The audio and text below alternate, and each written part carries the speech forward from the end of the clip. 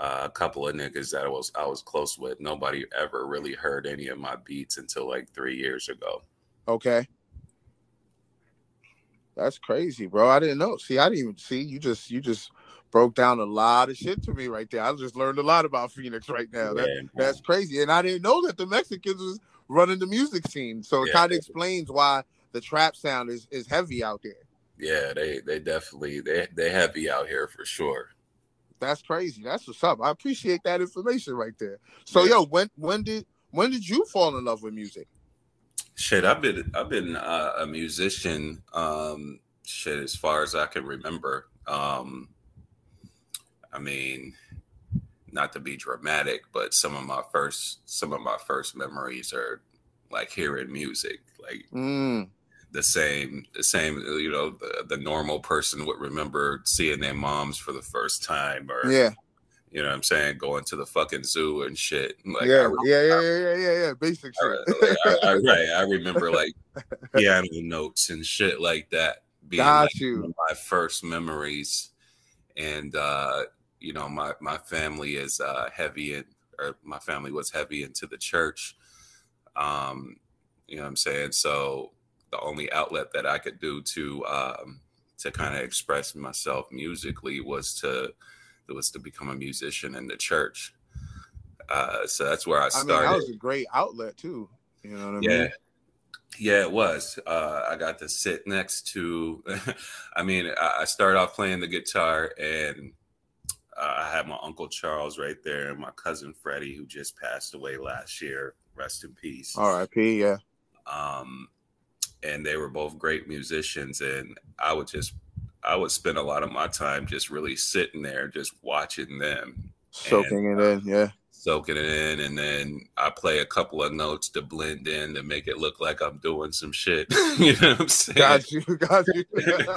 and I did that. I did that for like ten years, right? I did that for like ten years, and uh, eventually I wanted to get into DJing. Um, okay. But back then, you know, equipment was like Yes. That shit, that shit was not cheap, especially. No, not at all. Yes, you're right. So, and my pops, he would never, you know, he would never buy me shit like that because he wasn't into to hip hop. He wanted me to focus all my musical attention into the church.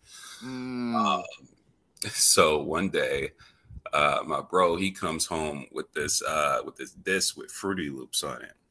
Oh, okay. What the fuck okay. it was.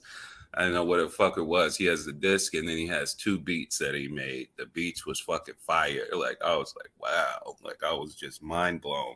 Got you. Shout out to my bro Bish. He's also in the umbrella. Um we uh we snuck the, the, the program on the computer because we wasn't allowed to to download shit onto the computer. Got you. And, Got uh, you. And when my parents was, was gone, I would, you know what I mean, jump yeah, yeah. computer yeah, yeah, yeah. and fuck around and make some shit, some weak ass shit real quick. um, and uh, then I took it to my man A1 because he had a computer at home that he could actually use, and my other boy Gary from Bosnia, and uh, we downloaded on his computer and that's when i really started making stuff like every day because i would be at his crib and we was allowed to make shit. And uh man i just started getting good really really fast. Got you.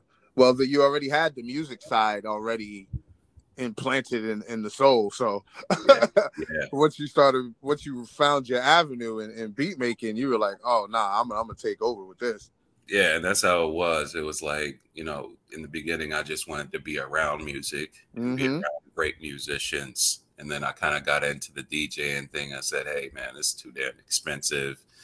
I can't be, I, am only fucking 14. I can't be carrying around fucking crates of records. Crates everywhere. big ass fucking turntables. And, and when he brought the Fruity Loops, it was like, wow, this is like a, this is like a combination of both worlds. And, uh, and obviously way more convenient than, than trying to be a DJ. So